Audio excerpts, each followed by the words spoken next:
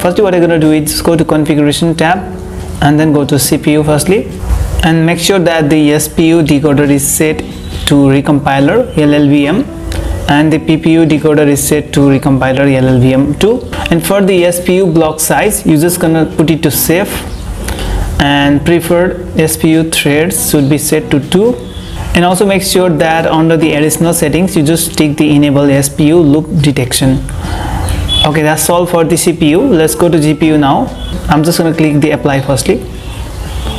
And let's go to GPU and for the renderer you're just gonna keep it to Vulkan or OpenGL. You can try one at a time and which one works best for you you can keep it to that.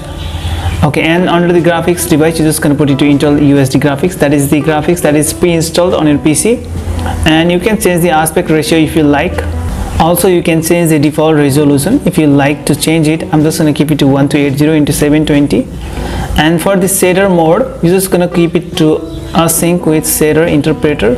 And under the number of shader compiler threads you're just going to keep it to 2 and under the additional settings you can take this vsync okay now let's go to the audio section. And you don't need to do anything here. Just put this audio buffer duration to 150 ms okay.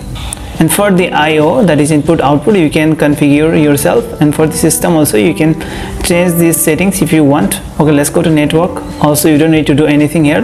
Let's go to emulator firstly. I'm going to come back to advanced tab later. And under this tab you're just going to go down here and change this maximum LLVM compile threads to 3 okay that's all here. And for the GUI there's no such settings that you need. Okay let's go to advanced tab that I left earlier. So the settings that I'm going to do under the advanced tab might cause crashes in some games but it makes most of the games very much playable. So let's do the settings in this tab also. For the maximum number of SPURS threads you can keep it to 3 firstly originally and if the game still lags then you're just gonna increase one at a time until the game is stable.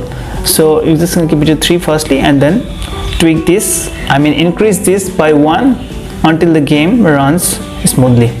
Okay these all are the base settings for RPCS3 and it will make your games run very smoothly. I believe that.